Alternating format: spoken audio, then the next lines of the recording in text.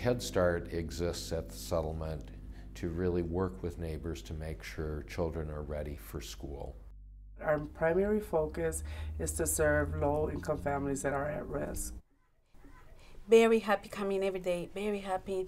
The program is great and my, my daughter speak only in the home Spanish and now coming for the settlement speak more English. I think that we work really hard, the whole staff here, to make sure that we have established a positive climate for the families and for the children. For me, um, education starts at the young age.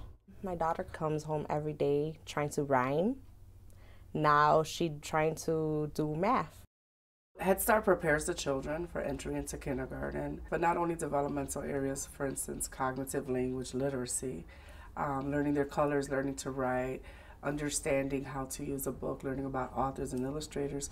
We also prepare them um, social emotionally, how to sit and pay attention, how to feel good about themselves.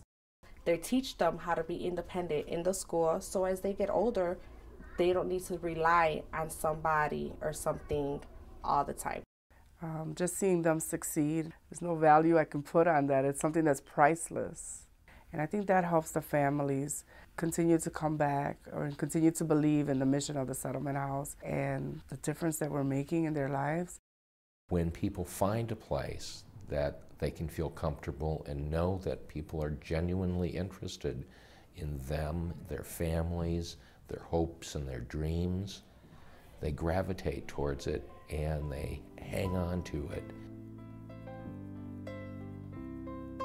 They've been here 100% for me and my family at like whatever we needed.